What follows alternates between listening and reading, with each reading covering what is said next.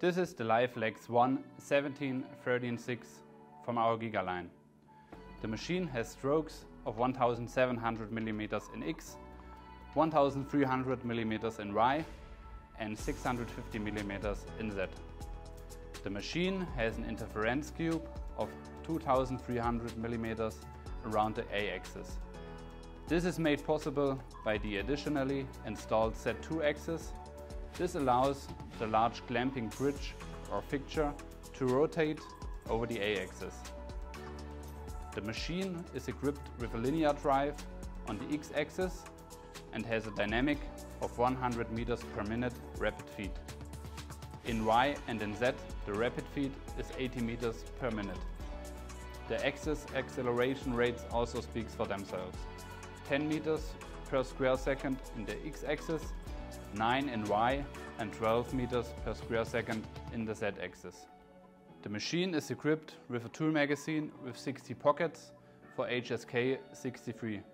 With the fast tool changer, the chip-to-chip -chip time is just 2.8 seconds. As with all our machines, the spindles come from our own development and are manufactured and assembled in-house. In this machine, a spindle with a torque of 85 Newton meters and a maximum speed of 12,000 RPM is used. The modular system from LiCON allows the machine to be adapted to the individual customer requirements.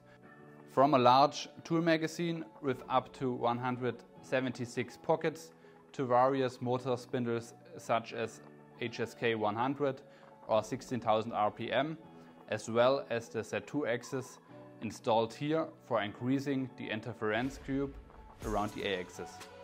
The loading door is L-shaped so that the machine can be loaded from front with a robot as well as from above with a portal. The machine is equipped with a central cooling unit that cools both the control cabinet and the spindle. That means that the machine does not require any additional cooling units on the control cabinet allowing that the doors can be opened by 180 degrees.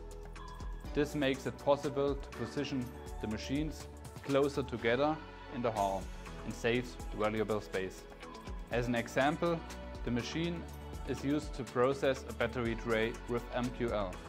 As the battery tray is machined from both sides in one clamping operation, the clamping fixture has to be designed in such a way that the cross beams, which hold the ribs in place during the machining, move away on one side during the process so that all surfaces can be machined.